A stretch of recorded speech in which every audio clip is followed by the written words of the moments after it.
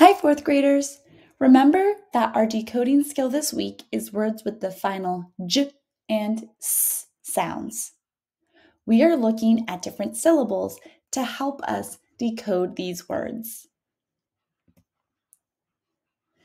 Remember that when we see the letter G in a word, we know that it can make the G sound or the hard G sound.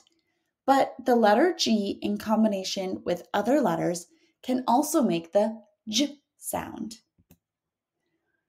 G plus E or DGE can make the J sound or the soft G sound.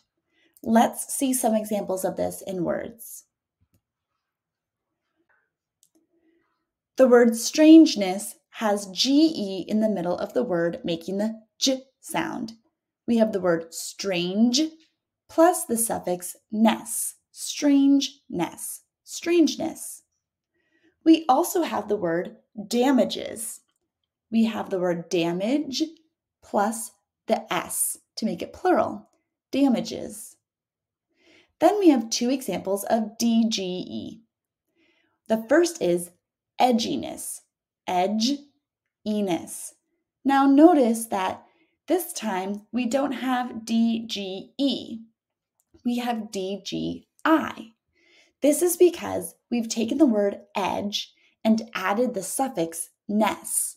When we add the suffix ness, the E changes into an I. However, the DGE sound remains. So this word is edginess. Lastly, we have the word budget. DGE makes the J sound. It's the word budge plus T, budget. Now let's look at sounds with the S ending. We know that CE together can make the S sound, S can make the S sound, or double S. SS makes the S sound. Let's see it in words. The first word is an example with just S on the end furious. The next word is an example with SS on the end strangeness. Notice that the SS is paired with the suffix ness. So we have strangeness, strangeness. Next, we have an example of CE making the S sound at the end, announce. And lastly, this is showing that CE can be paired with a suffix like ment, commence, meant, commencement. It does not change the CE sound when we add a suffix on the end.